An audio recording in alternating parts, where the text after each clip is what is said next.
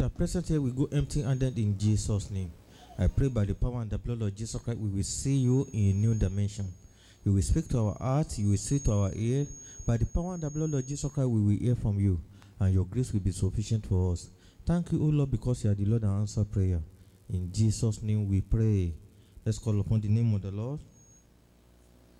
Let's call upon the name of the Lord. Let's thank Him. Let's glorify His name because of whom He is and who He will continue to be in our life. Let's thank Him because of what He has done in the past. Let's thank Him because of what He is doing in the present. Let's thank Him because of what He's going to do in the future. Let's praise Him. He is the King, He is the Lord, He is the mighty one in battle. He has never left us alone, He will not leave us alone. Let's praise Him. Let's glorify His name. Is like unto thee? Oh Lord, who is like unto thee? Oh Lord, among the God, who is like thee? Glorious in holiness, faithful in praises, doing wonders, hallelujah. Let's praise the Almighty God. Let's glorify His name.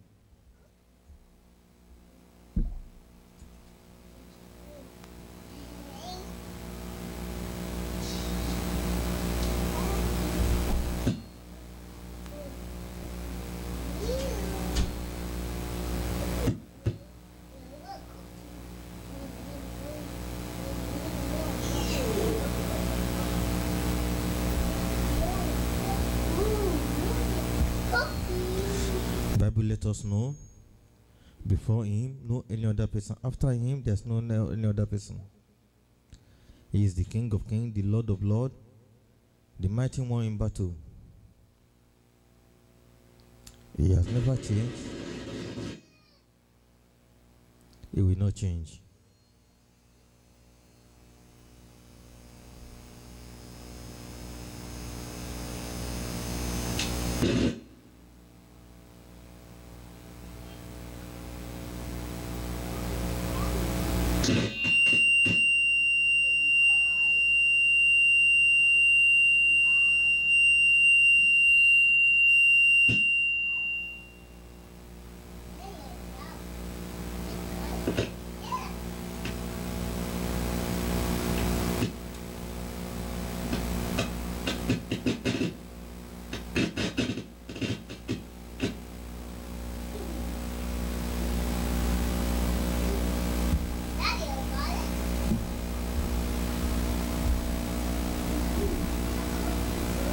Let's thank Him because of what He's doing in our life and what He will still continue to do.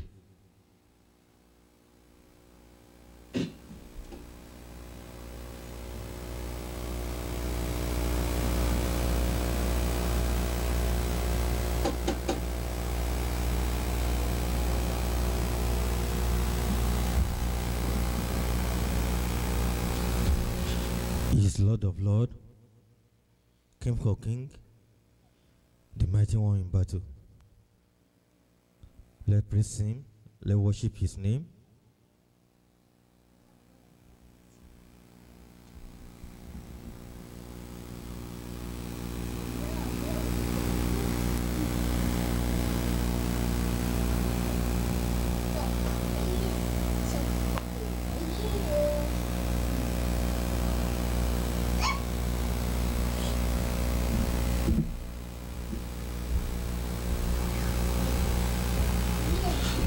Because He has a purpose for our life and the dream, the vision, the mission. By the power and the blood of Jesus Christ, they will not die.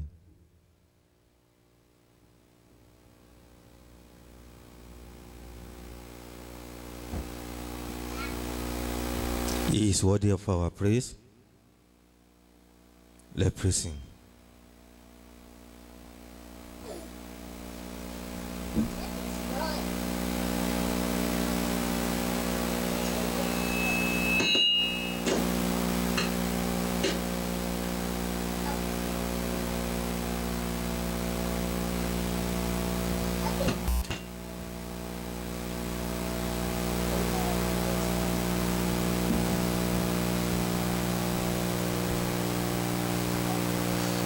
There's nothing we can do than worshiping Him, glorify Him.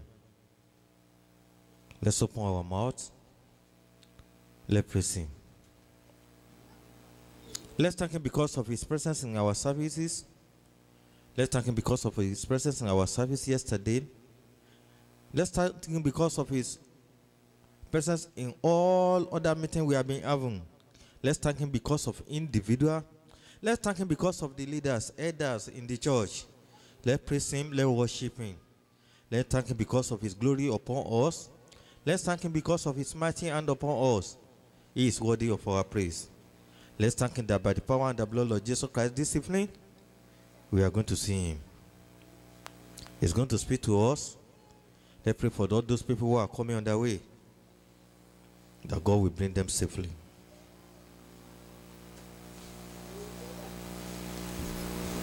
In Jesus' name we pray. In Jesus' name we pray.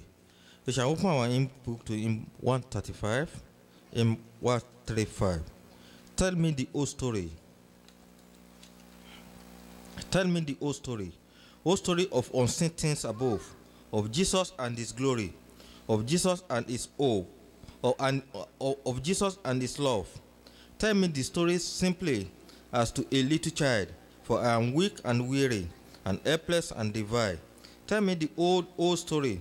Tell me the old, old story of Jesus and his love.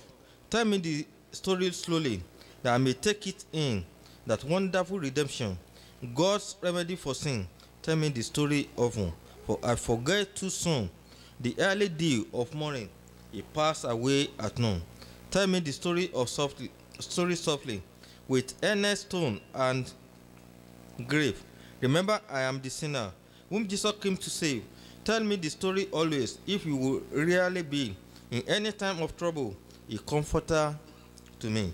Tell me the same old story when you have cause to fear that this world empty glory is costing me is costing me too dear. Yes, and when that word glory is done on my soul, tell me the old old story. Christ Jesus make me the old.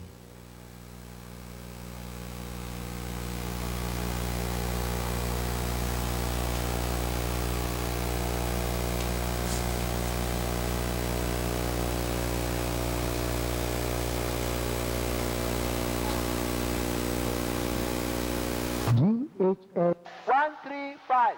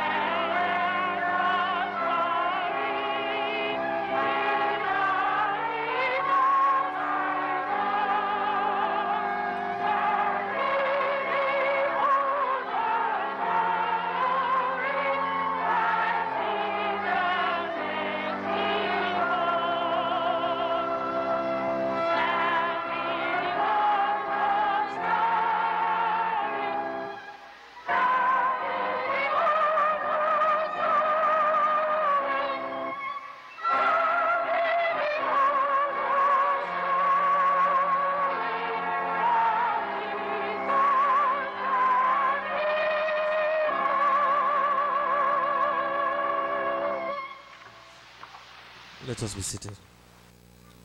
I welcome everyone us to today's Bible study, and I want to remind us that uh, for everyone of us that we are prepared to wait, that we shall have the two hours night vigil after the Bible study of today. And as we are preparing to meet the Lord, God will meet us in Jesus' name. The Bible let us know that the prayer is a key, and nothing shall be done without prayer. I just want to remind us that for those of of many people, they may be watching us on other media like YouTube. YouTube, we have our Monday Bible study every Monday from 6:50 to 8:30. Except we have a long message from GS Pastor W.F. Kumoye, and then we have our Sunday service every Sunday from 8.50 to 11.30 by the grace of the lord we are always have our prayer meeting online every thursday from 6 to 7 o'clock. And then for anybody that need the number the number is uh, on our program sheet. And then for those people who may need it online is 712-775-7035 why the access code is 344823 we shall be glad as we are journey together to call upon the upon the lord to answer all our prayer. And by the power and the blood of jesus christ all our prayer will be answered in jesus name. It is my wish that by the power and the blood of jesus we will not stop our effort in touching those people who are touchable even touching those people who are untouchable because with god all things are possible. To bring more into the house of the lord and god is going to help us in jesus name. I will want to appeal to every one of us as arrow uh, g i mean arrow is sending messages about the strategist meeting in dc from february 16 let's do all what we can do to be there. And god is going to compensate us. God is going to reward us as we are doing so in jesus name.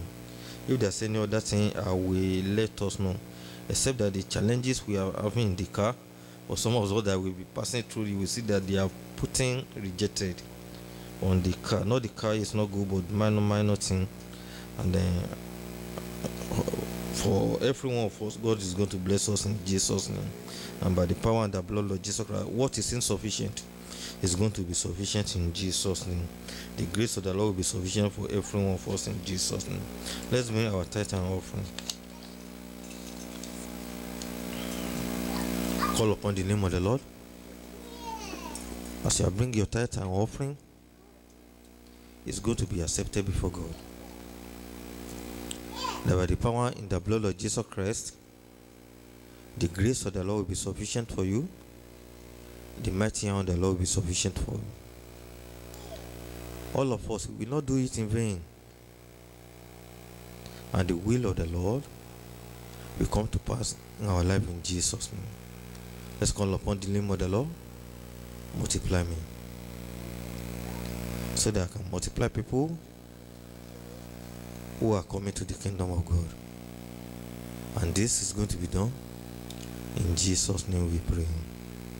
As our brother is passing the offering bag around, please remain in, in, in remain in mode of prayer. Keep continue to pray for yourself. The Almighty Father, let me see you. As I come to the Bible study today, don't let me go empty handed. Let your grace, let your mighty hand be sufficient for me. In Jesus' name we pray. In Jesus' name we pray. We shall read from our Bible reading, 2 Samuel chapter 18. 2 Samuel chapter 18.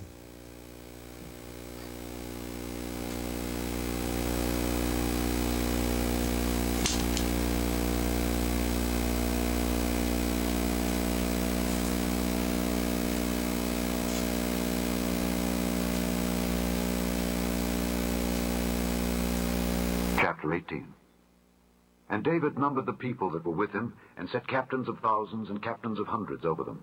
And David sent forth a third part of the people under the hand of Joab, and a third part under the hand of Abishai the son of Zeruiah, Joab's brother, and a third part under the hand of Ittai the Gittite. And the king said unto the people, I will surely go forth with you myself also. But the people answered, Thou shalt not go forth. For if we flee away, they will not care for us. Neither if half of us die will they care for us. But now thou art worth ten thousand of us. Therefore now it is better that thou succor us out of the city. And the king said unto them, What seemeth you best I will do. And the king stood by the gate side, and all the people came out by hundreds and by thousands. And the king commanded Joab and Abishai and Ittai, saying, Deal gently for my sake with the young man, even with Absalom. And all the people heard when the king gave all the captains charge concerning Absalom. So the people went out into the field against Israel, and the battle was in the wood of Ephraim, where the people of Israel were slain before the servants of David, and there was there a great slaughter that day of twenty thousand men. For the battle was there scattered over the face of all the country, and the wood devoured more people that day than the sword devoured. And Absalom met the servants of David. And Absalom rode upon a mule, and the mule went under the thick boughs of a great oak, and his head caught hold of the oak, and he was taken up between the heaven and the earth, and the mule that was under him went away. And a certain man saw it, and told Joab, and said, Behold, I saw Absalom hanged in an oak. And Joab said unto the man that told him, And behold, thou sawest him? And why didst thou not smite him there to the ground? And I would have given thee ten shekels of silver and a girdle. And the man said unto Joab, Though I should receive a thousand shekels of silver in mine hand, yet would I not put forth mine hand against the king's son. For in our hearing the king charged thee and Abishai and Ittai, saying, Beware that none touch the young man Absalom.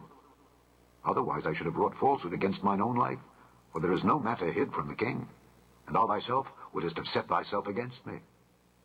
Then said Joab, I may not tarry thus with thee.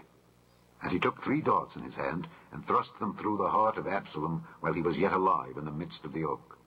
And ten young men that bare Joab's armor compassed about and smote Absalom and slew him. And Joab blew the trumpet, and the people returned from pursuing after Israel. For Joab held back the people. And they took Absalom and cast him into a great pit in the wood, and laid a very great heap of stones upon him. And all Israel fled every one to his tent. Now Absalom, in his lifetime, had taken and reared up for himself a pillar, which is in the king's dale, for he said, I have no son to keep my name in remembrance. And he called the pillar after his own name, and it is called unto this day Absalom's place. Then said Ahimaaz the son of Zadok, Let me now run and bear the king tidings, how that the Lord hath avenged him of his enemies. And Joab said unto him, Thou shalt not bear tidings this day, but thou shalt bear tidings another day. But this day thou shalt bear no tidings, because the king's son is dead. Then said Joab to Cushai, Go tell the king what thou hast seen. And Cushai bowed himself unto Joab and ran. Then said Ahimaaz the son of Zadok yet again to Joab, But howsoever, let me, I pray thee, also run after Cushai. And Joab said, Wherefore wilt thou run, my son, seeing that thou hast no tidings ready? But howsoever, said he, let me run. And he said unto him, Run. Then Ahimaaz ran by the way of the plain, and overran Cushai. And David sat between the two gates. And the watchman went up to the roof over the gate unto the wall, and lifted up his eyes, and looked, and behold, a man running alone. And the watchman cried, and told the king. And the king said, If he be alone, there is tidings in his mouth. And he came apace, and drew near. And the watchman saw another man running. And the watchman called unto the porter, and said, Behold, another man running alone. And the king said, He also bringeth tidings. And the watchman said, Methinketh the running of the foremost is like the running of Ahimaaz the son of Zadok. And the king said, He is a good man, and cometh with good tidings. And Ahimaaz called and said unto the king, All is well. And he fell down to the earth upon his face before the king, and said, Blessed be the Lord thy God, which hath delivered up the men that lifted up their hand against my lord the king. And the king said, Is the young man Absalom safe? And Ahimaaz answered, When Joab sent the king's servant and me thy servant, I saw a great tumult, but I knew not what it was. And the king said unto him, Turn aside and stand here. And he turned aside and stood still. And behold, Cushai came. And Cushai said, Tidings, my lord the king, for the Lord hath avenged thee this day of all them that rose up against thee. And the king said unto Cushai, Is the young man Absalom safe? And Cushai answered, The enemies of my lord the king and all that rise against thee to do thee hurt be as that young man is. And the king was much moved, and went up to the chamber over the gate and wept. And as he went, thus he said, O my son Absalom, my son, my son Absalom, would God I had died for thee. O Absalom, my son, my son. May God bless us with His reading in our heart in Jesus' name. We shall listen to prayer song.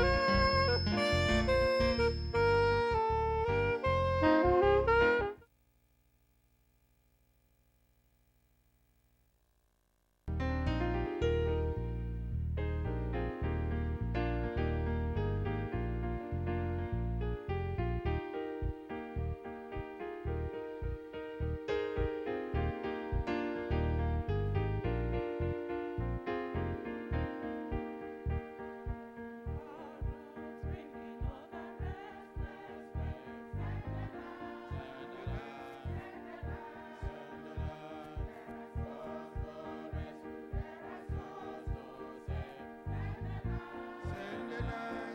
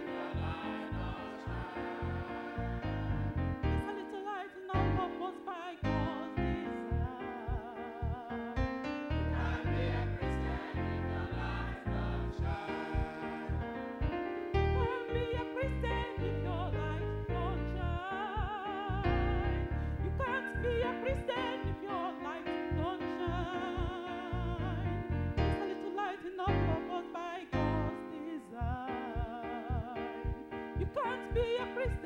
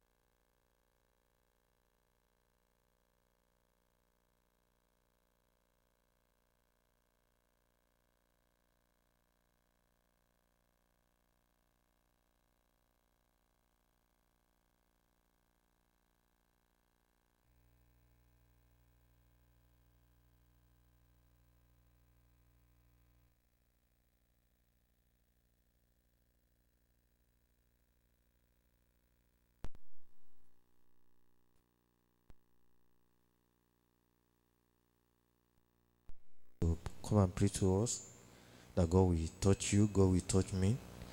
We will not go as we come in Jesus' name. That um, as we go to speak about pardon, the Almighty God, we are going to receive the mercy, abundant one, from God Himself in Jesus' name. That the grace of the Lord will be sufficient for us, that the mighty hand of the Lord should be sufficient for us. Call upon Him, call upon Him.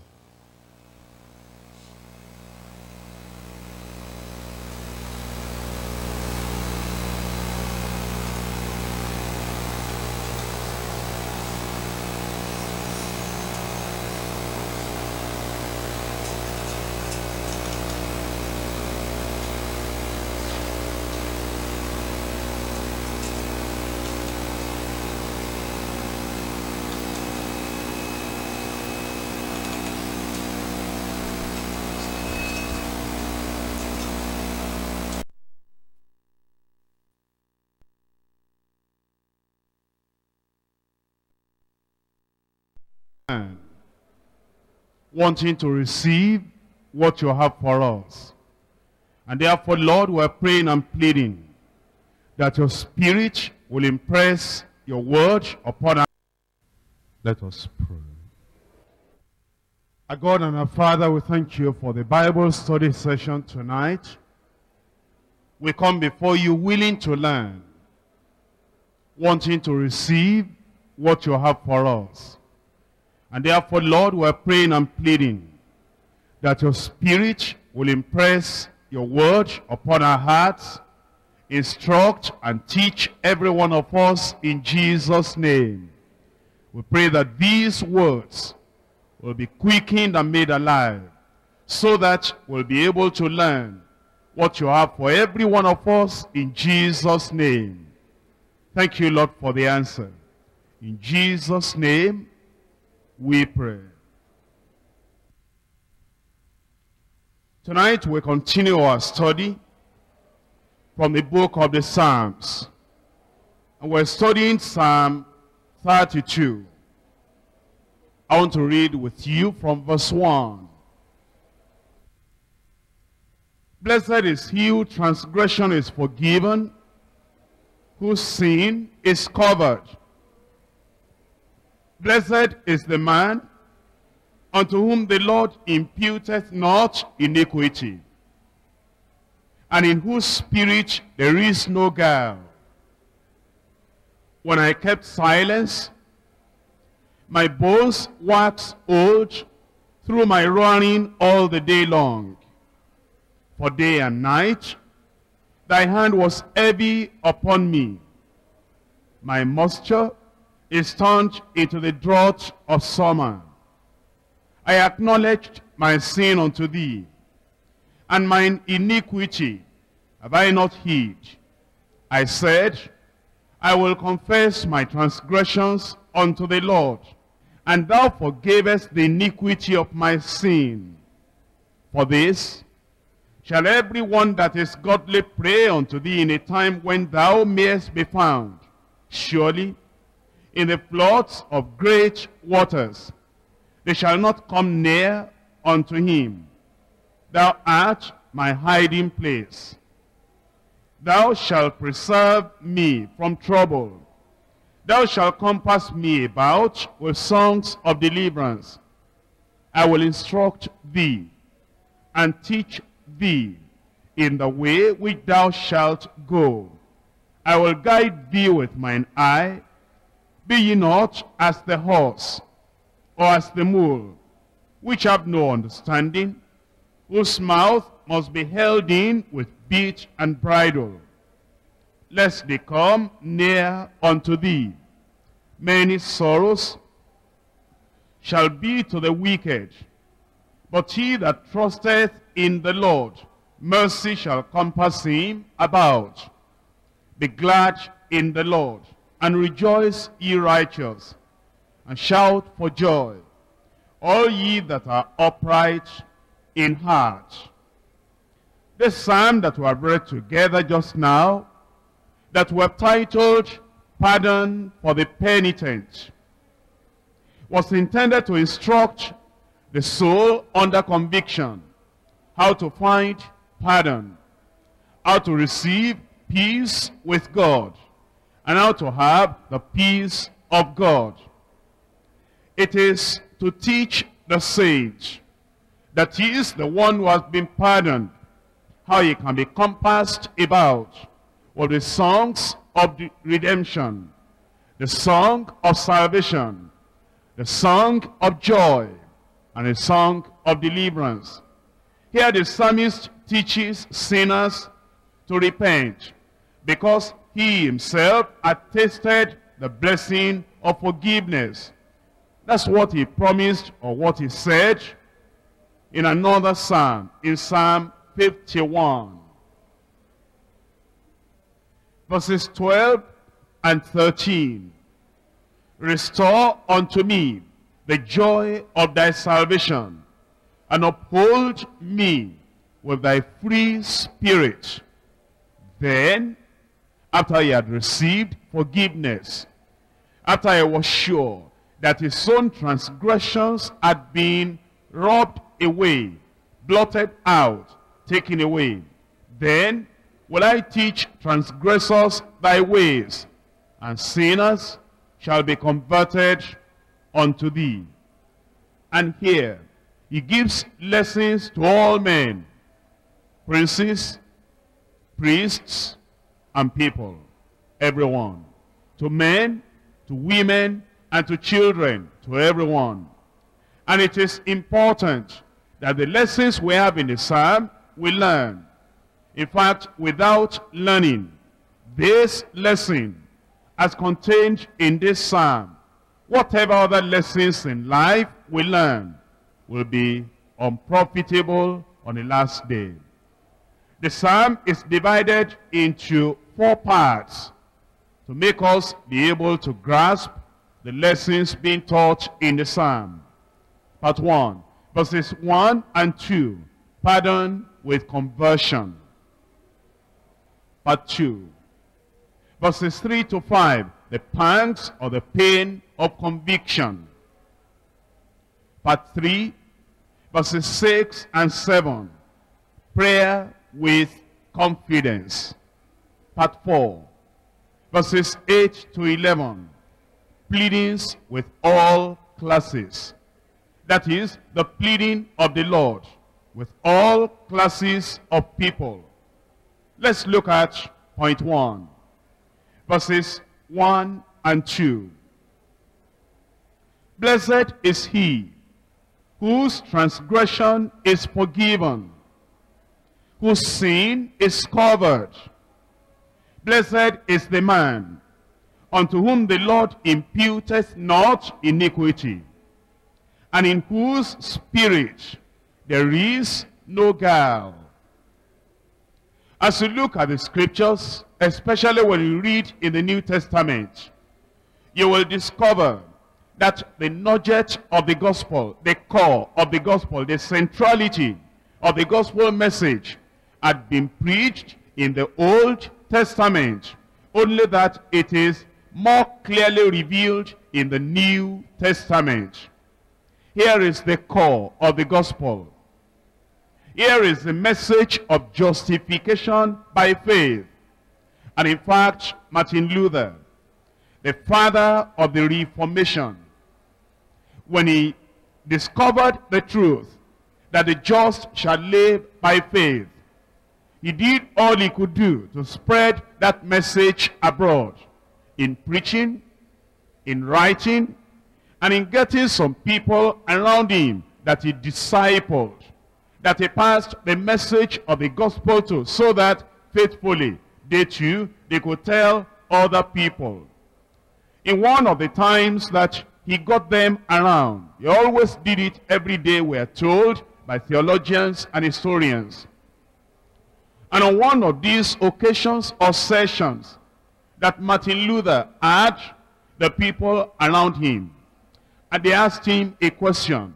They said, in the Psalms, which of the Psalms will you consider as the greatest? And he said, the Pauline Psalms. That is, the Psalms that contain the revelation of the gospel as revealed unto Paul, the Pauline Psalms.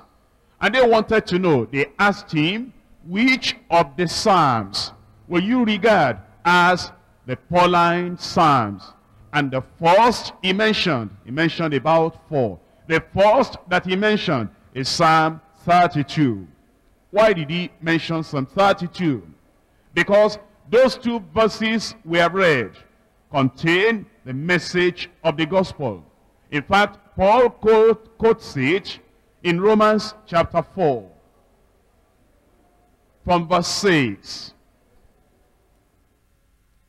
Even as David also describeth the blessedness of the man unto whom God imputeth righteousness without works, saying, Blessed are they whose iniquities are forgiven, and whose sins are covered. Blessed is the man to whom the Lord will not impute sin. You know that the epistle to the Romans talks about the gospel, the message of the gospel. It's at the beginning of this epistle, the epistle to the Romans, that is said in chapter 1, verse 15. So then, as much as in me is, I am ready to preach the gospel to you that are at Rome also. And immediately he began to preach the gospel to the Romans. Look at verse 16. For I am not ashamed of the gospel of Christ, for it is the power of God unto salvation to everyone that believeth, to the Jew first, and also to the Greek. What is the gospel? Salvation to the one that believes on the Lord Jesus Christ. Further on, verse 17. For therein is the righteousness of God revealed from faith to faith, as it is written, the just shall live by faith. And so, he preached the gospel. And in the fourth chapter, which I have read to you already, he emphasizes again that righteousness comes not by works, not by generosity, giving money to the beggars, not by Pharisaic attitude, trying to follow the rigid laws as interpreted by the Pharisees. And it is not by paying any amount of money to the church, to a club, or to the unfortunate in society. It is not by any religious ritual or rite that anyone will do or has done. We receive righteousness on the basis of faith in the Lord Jesus Christ. That is why he emphasized. And he said, even as David describeth the blessedness of the man unto whom the Lord imputed righteousness without works, without rituals, without generosity, without the good deeds, but just by faith in the Lord. It says in verse 9, Romans chapter 4 verse 9, Cometh this blessedness then upon the circumcision only, or upon the uncircumcision also? For we say that faith was reckoned unto Abraham for righteousness. How was it then reckoned? When he was in circumcision or in uncircumcision? Not in circumcision, but in uncircumcision. And he received the sign of circumcision, a seal of the righteousness of the faith, which he had yet being uncircumcised, that he might be the father of all them that believe, though they be not circumcised, that the righteousness might be imputed unto them also. You see, as I emphasized yesterday in the Sunday worship, that when you come to the Lord as a sinner, you come for a great exchange. You hand over your own sin unto the Lord. And he hands over unto you his own righteousness. Not because of anything that you have done, not because of any good deed of your hand, not because of whatever you have done well in the past. It is only by the grace of God, mercy unmerited, grace unmerited, favor unmerited, that the righteousness of the Lord is imputed unto you. Look at it from verse 22, Romans chapter 4. Therefore, it was imputed to him for righteousness. Now it was not written for his sake alone that it was imputed to him, but for us also, to whom it shall be imputed, if we believe on him that raised up Jesus, our Lord, from the dead, who was delivered for our offenses, and was raised again for our justification. So then, when we say that Jesus is our Savior, he doesn't look at all the good things we have done. The reason he saves us is that we are sinners. We have been sinners. If there is anything that qualifies us, qualifies anybody for salvation, it is the sin that you committed that made you qualified for salvation. It is the dirt that you had on you that made you qualified to be washed in the blood of the Lamb.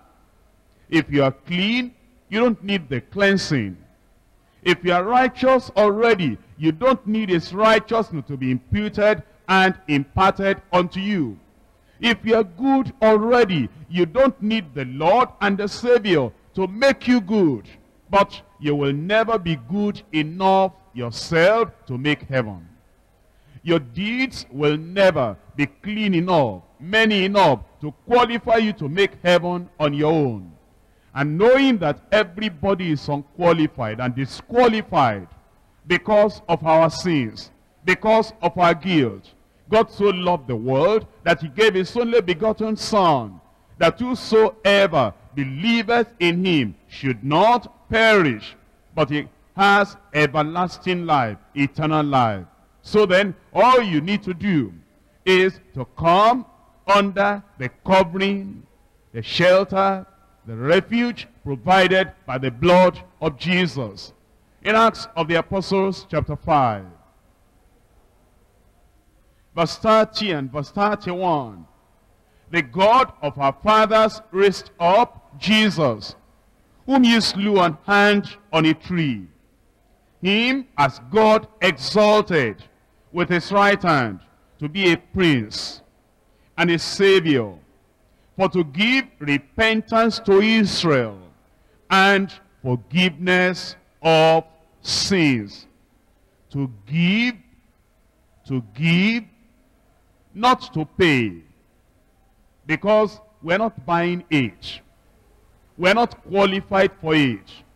He gives repentance and he gives forgiveness of sin. It is a gift. It is by the grace of God. In Ephesians chapter 1, verse 7. In whom we have redemption through his blood, the forgiveness of sins, according to the riches of his grace. We have the forgiveness of sins, not according to the abundance of our good works, not according to the height of our knowledge, not according to the greatness of our generosity, not according to the spotlessness of our self-righteousness, but in whom we have redemption through his blood, the forgiveness of sins, according to the riches of his grace. That is why it's the good news, the glad tidings, the gospel, that whosoever will may come. None is so poor, none is so sinful, none is so depraved that he cannot come. The mercy of God, the goodness of God, the grace of God invites everyone whosoever will may come. Pardoning mercy is of all things the most to be prized or to be valued. For it is the only way to happiness. Self-righteous Pharisees have no part, have no portion in this blessedness. It is over the returning prodigal that the word of welcome is pronounced. That the full instantaneous pardon is given. It has cost the Lord our Savior his very life, the shedding of his blood to bear our sins away. In Christ's atonement, we have propitiation. That is the covering, the taking away of our sin, the making an end of our sin. Let's go back to Psalm 32. Verse 2. Blessed is the man unto whom the Lord imputeth not iniquity. That means the moment you are born again, the Lord does not have any iniquity in your account anymore.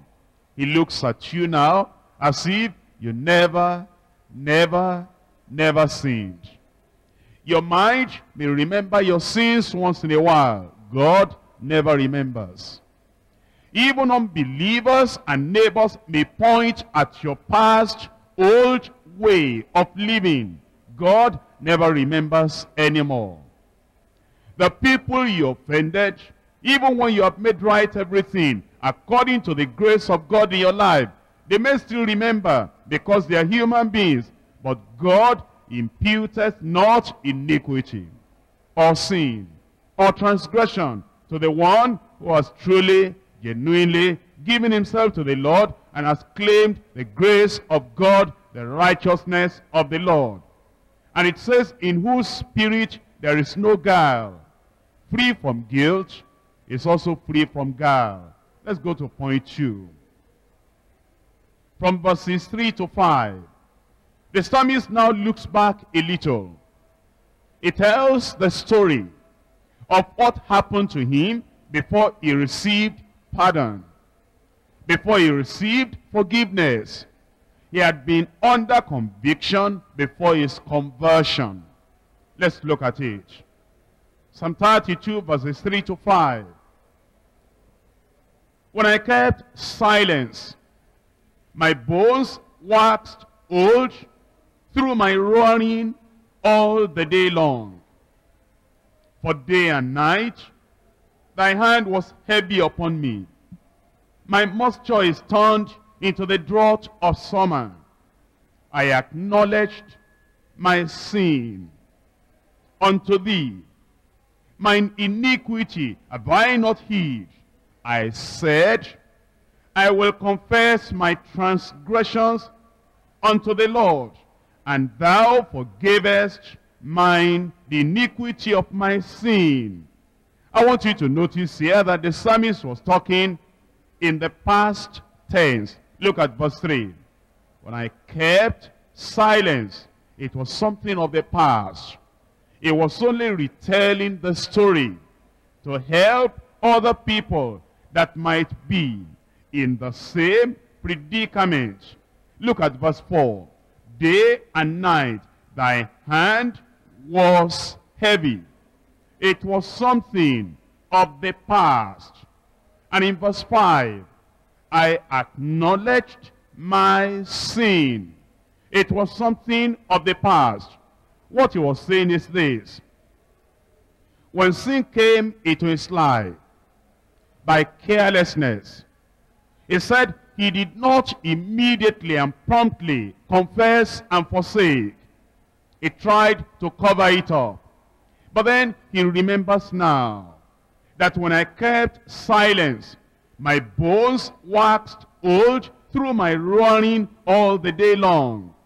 It was the pain of conviction, the pangs of conviction. And he told the experience so that he can instruct other people to be quick, to be prompt, never to delay in giving up their simple ways. Sometimes through neglect, sometimes through the discouragement and despair. The sinner fails to confess immediately and to seek pardon from the Lord. At such a time, there will be grief. And the grief may become so intense as to sap his health and destroy his vital energy. That's what the psalmist is saying. He said, the sin, the conviction, the pain, the pangs were killing me, destroying me. They were like a loathsome disease within my spirit, like fire in my bones. The pain of conviction was so much, he describes it in another place, in Psalm 38. Psalm 38, from verse 2. For thine arrow stick fast in me, and thy hand presseth me sore. There is no soundness in my flesh because of thine anger. Neither is there any rest in my bones because of my sins.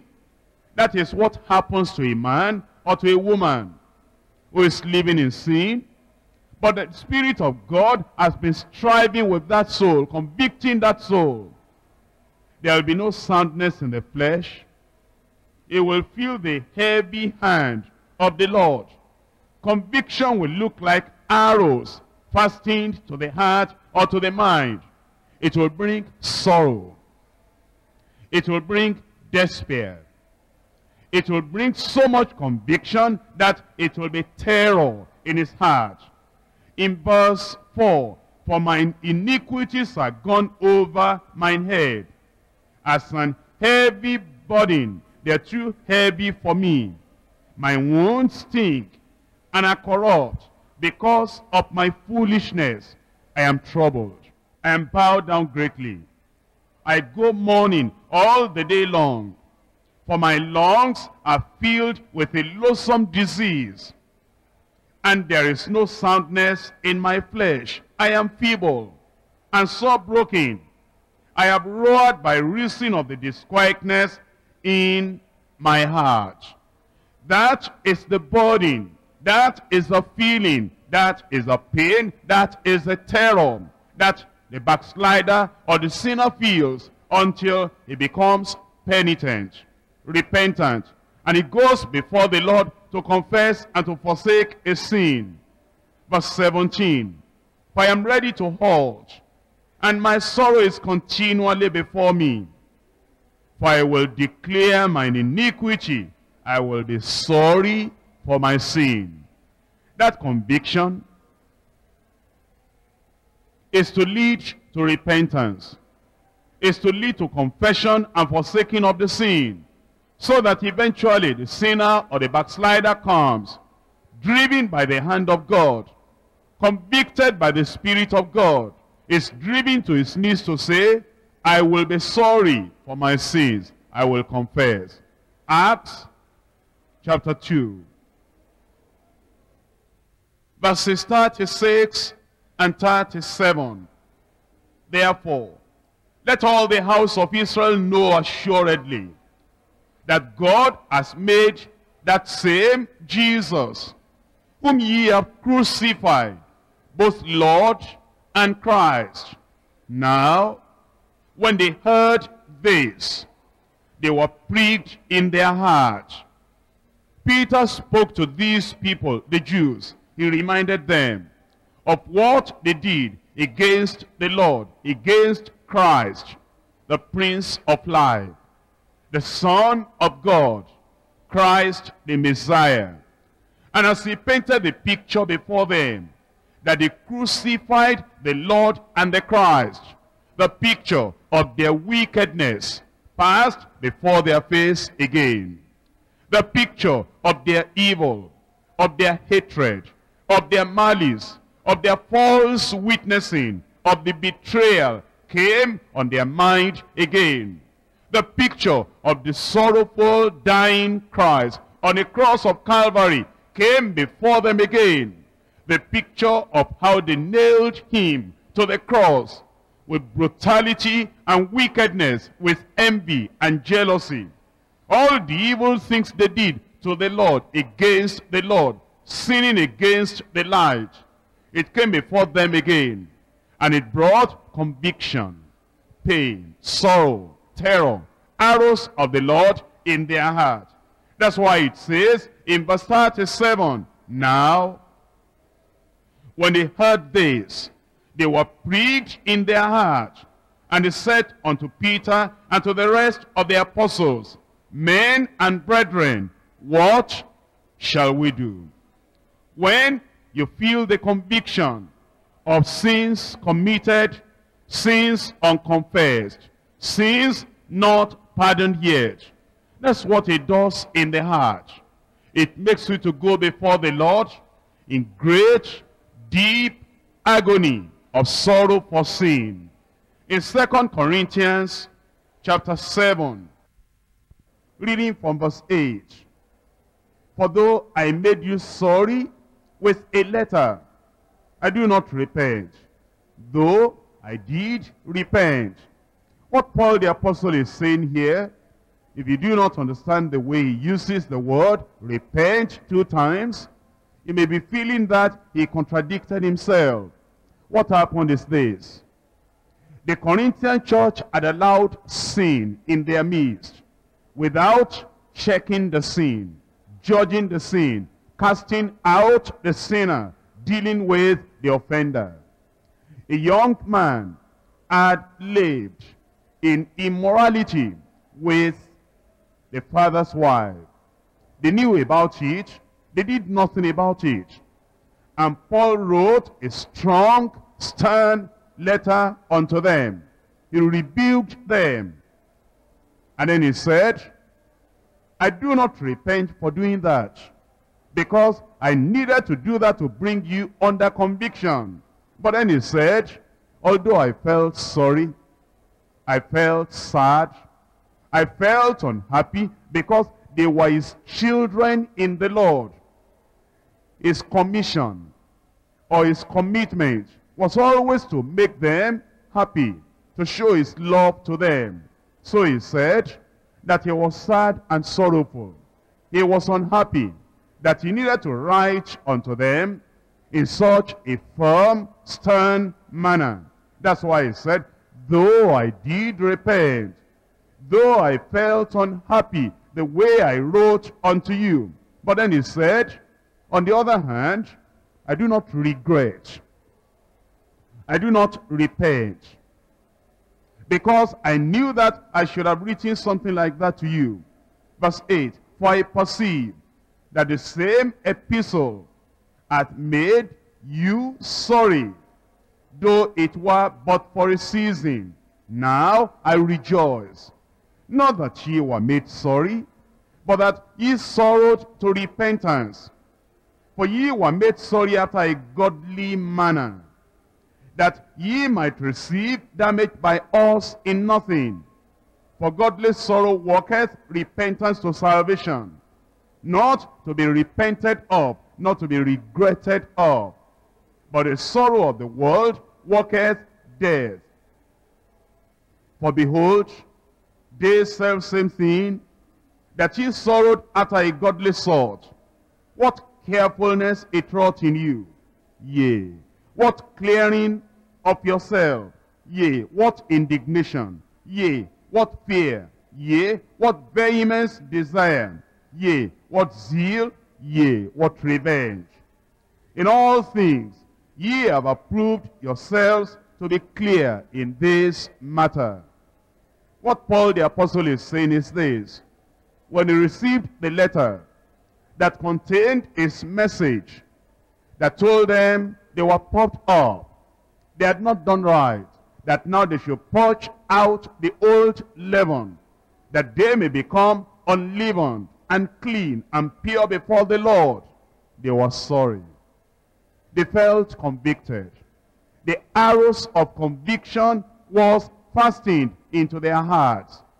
They were so sorrowful and it brought real conviction within them. But that made them to pray. That made them to put right the things that were wrong.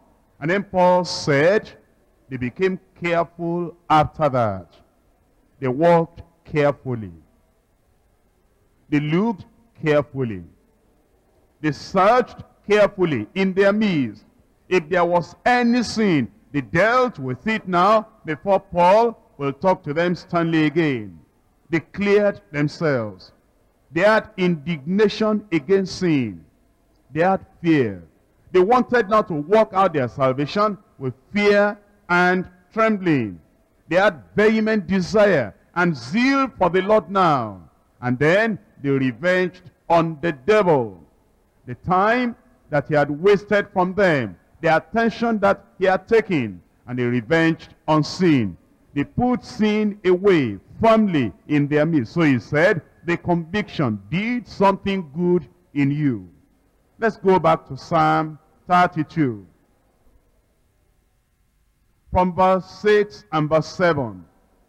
Prayer with confidence. For this shall every one that is godly pray unto thee in a time when thou mayest be found. Surely in the floods of great waters they shall not come near unto him. Thou art my hiding place. Thou shalt preserve me from trouble. Thou shalt compass me about with songs of deliverance. Now, the psalmist, looking over the whole experience, the period of conviction, the time of confession, and the experience of conversion with iniquity taken away, transgressions removed, forgiveness given, redemption made available, righteousness given unto him, given to his account, imputed unto him.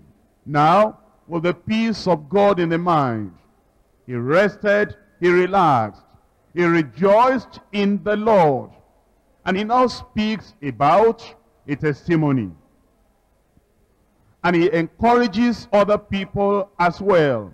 And he said, for this, because of this grace of God, this mercy of God, this pardon by grace, favor unmerited, everyone that is godly shall pray unto thee. It encouraged him to pray, and he was encouraging other people to, they ought to pray. But then he also mentioned something very important, that they will pray in a time when thou mayest be found. One, he was referring to the fact that he found the Lord. He found mercy from the Lord. He prayed at the right time. It wasn't too late for him. Mercy was still available when he prayed. And in that he encourages you and encourages me that we ought to pray when mercy is still available. There are some people that will pray too late. Like the rich man in hell. He lifted up his eyes. He asked for mercy. He asked for water. He asked for the cooling of the tongue. It was too late. Then he asked for Lazarus to please go and speak a word. A word that will bring conviction to the people back at home. He prayed too late. Like the song that we sing, the wailing and the weeping. And it talks about the people. They prayed, but their prayer was too late. And so, here, the psalmist was saying, pray, but don't let it be too late. Seek the Lord at a time of mercy. In Isaiah chapter 55, verse 6 and verse 7, Seek ye the Lord while he may be found. Call ye upon him while he is near. Let the wicked forsake his way. And let him do that while the Lord may be found today. And let the righteous man forsake his thoughts. Let him do that today while the Lord may be found. Let him return unto the Lord when? Today. And he will have mercy upon him and to our God, for he will abundantly pardon. In 2 Corinthians chapter 6, 2 Corinthians chapter 6, verse 2, For he saith, I have heard thee in a time accepted, and in the day of salvation have I succored thee. Behold, now is the accepted time. Behold, now is the day of salvation. In Psalm 32, on the account of God's pardoning mercy, the grace and the favor of God unmerited, the psalmist became hopeful and more trusting.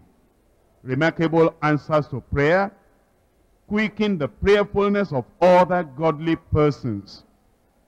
Where one man finds a golden nugget, others will feel inclined to dig.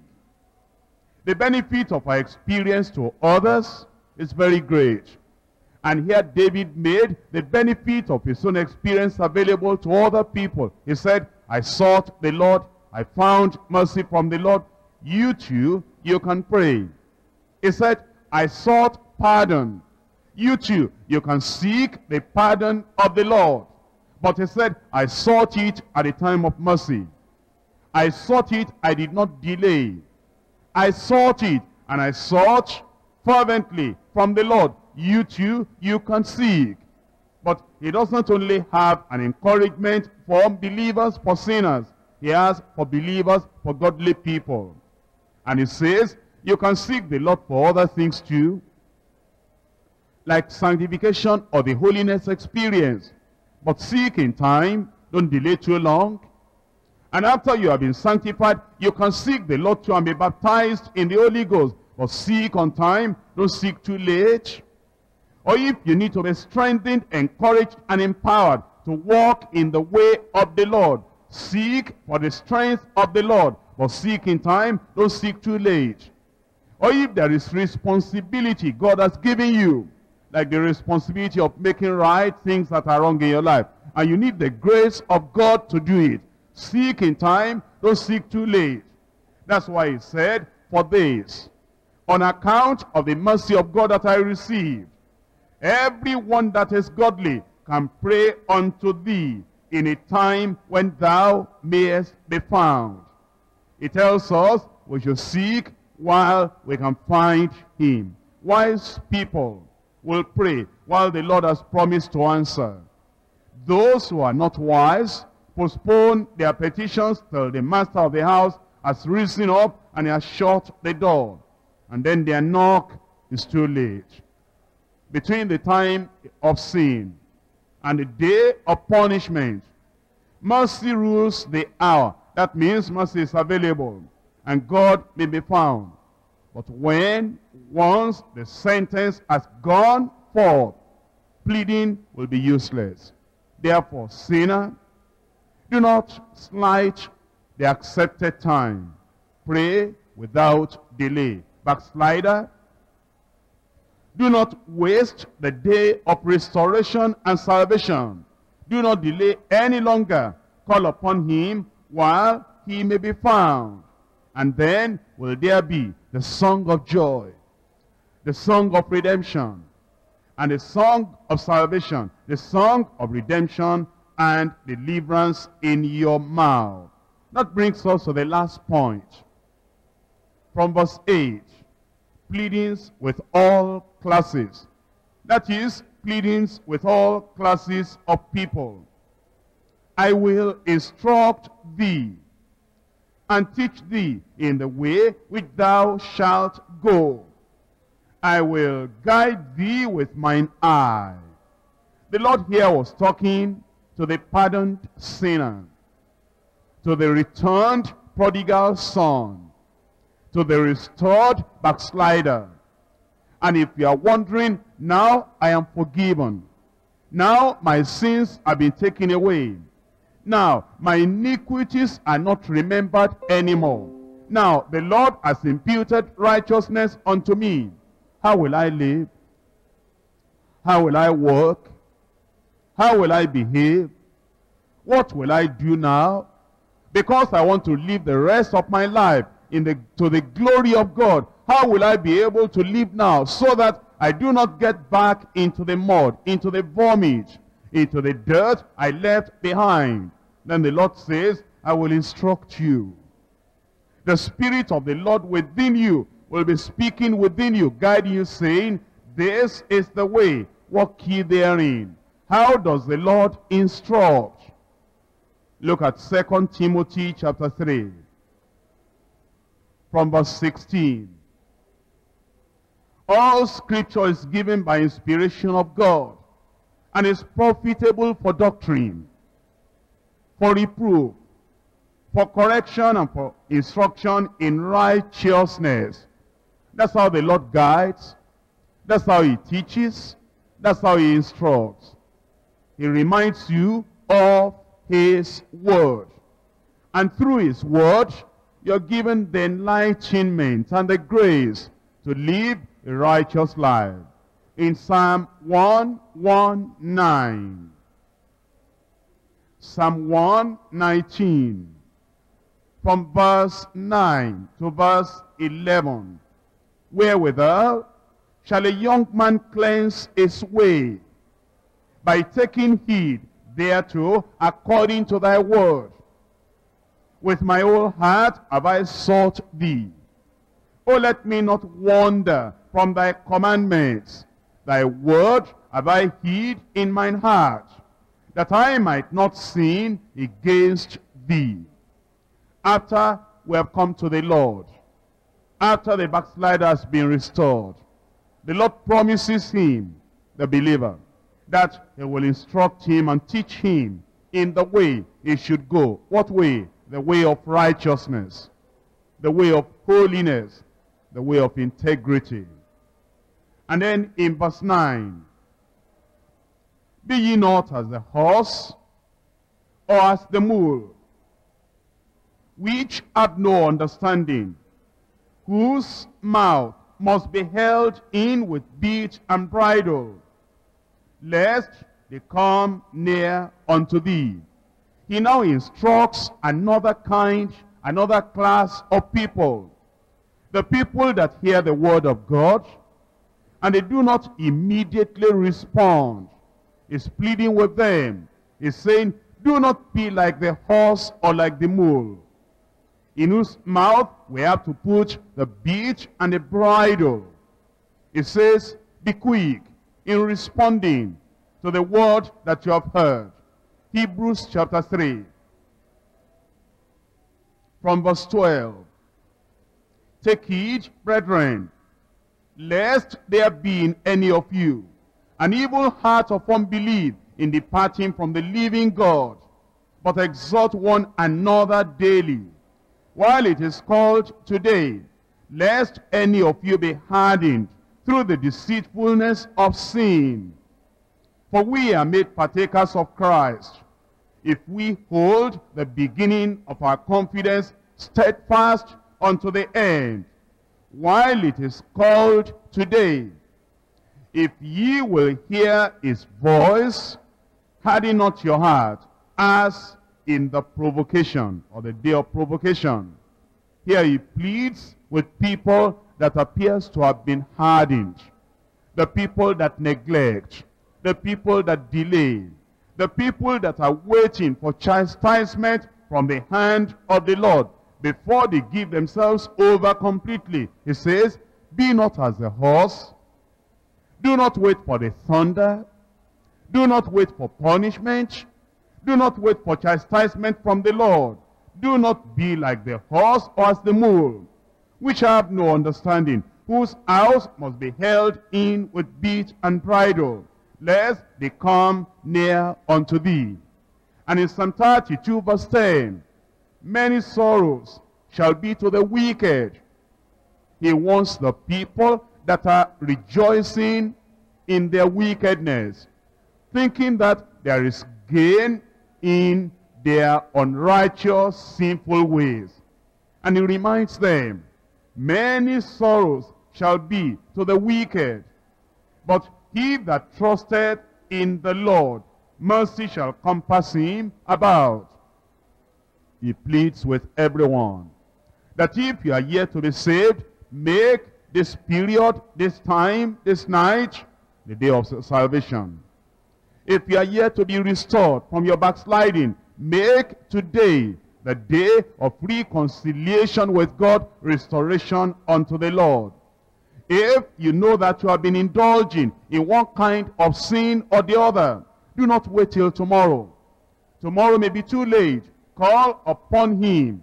If you will trust in the Lord, mercy is still available. And then in verse 11 it says, Be glad in the Lord. Remain in the Lord, then be glad in the Lord. And rejoice, ye righteous, and shout for joy, all ye that are upright in heart. It starts with the conversion of the believer, of the one that has given himself to the Lord. And he ends with commitment to walk in righteousness of heart, uprightness of heart and life. The Lord wants us to get this lesson very well and to call upon the name of the Lord at this time of mercy. We'll rise up on our feet now. We'll talk to the Lord in prayer. If you have been hiding your sin, call upon the name of the Lord. If you have been excusing your sin, call upon the name of the Lord. Do not allow the thunder of the judgment of God to strike. There is mercy today. There is favor today. Grace of God is available today. The blood of Jesus is still flowing freely for the people that will believe on the Lord Jesus Christ. Restoration is still possible. Redemption is still possible. Call upon the name of the Lord. Seek the Lord while he may be found. Call upon him while he is near. Are you a prodigal son? Return home. Are you a prodigal daughter? Return home today. Are you a backslider? Be restored into fellowship with Christ today. Do not neglect the mercy of God.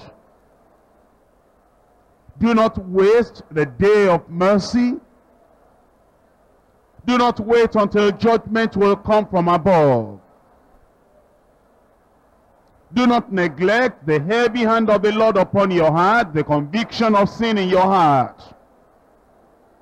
Let it lead you to repentance. Let it lead you to having the mercy of God and the grace of God. Pray while there is mercy. Call upon the Lord while he's near. While the conviction is deep and fresh on your heart, call upon the name of the Lord. And as the Lord is teaching and instructing and guiding you to walk in the way of righteousness, walk in the way of integrity, walk in the way of holiness, be obedient to the teaching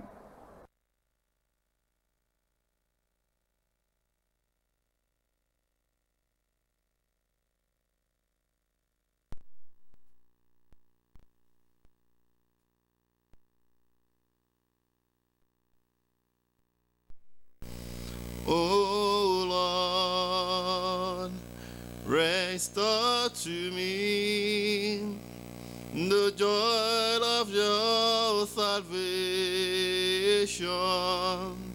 O Lord, you are my God. You know, pray that the Lord God will search you with the searchlight of His Word.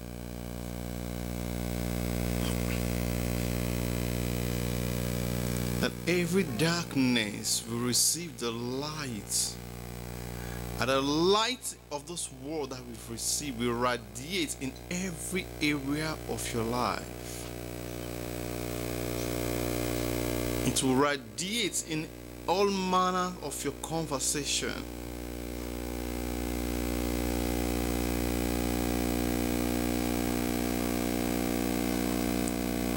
It will draw you more closer in intimacy with God.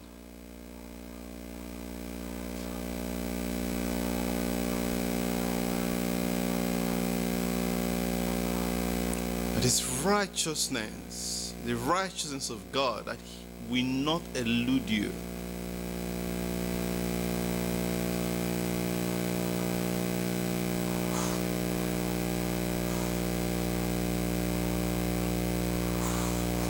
In Jesus' name we've prayed.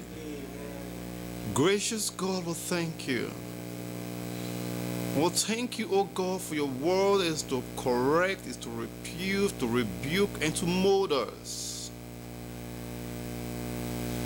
Is to bring us, oh God, to the consciousness of our purpose of living. To help us, oh God, to, concentrate, to concentrate on that which you have called us to do, on the life that you've called us to live. Father, we ask this moment, any way that we have slipped off the track, we ask for restoration. We ask, oh Lord, that you will plant our feet in holiness and in righteousness. That in the rest days of our life here on earth, that heaven will be our priority. And all that it will take us, oh Lord, to achieve heaven. We will have it in Jesus' name. Father, give us, O God, the obedient spirit. Give us a broken and a contrite heart. Father, we come against every stoning heart.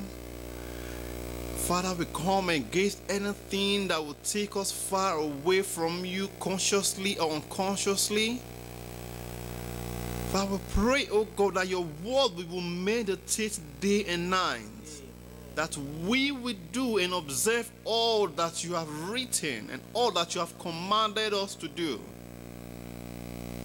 That at the end of time, rejection, reproach, and disappointment will not be our portion in Jesus' name. Thank you, Heavenly Father. Thank you because you are holy. But thank you because you are wonderful. But thank you for the light, of God, that you shine upon our lives. We bless your holy name. In Jesus' name we pray. Let's share the grace and the grace of our Lord Jesus Christ, the love of God, and the sweet fellowship of the Holy Spirit be with us now and forevermore. Amen. Surely God's goodness and mercy shall follow us all the days of our lives, and we shall dwell in the house of the Lord forever and ever. Amen. Say to your neighbor, keep yourself pure. Keep yourself pure. Keep yourself pure. Keep yourself pure. Keep yourself pure. Amen. Keep yourself pure. Keep yourself pure. Keep yourself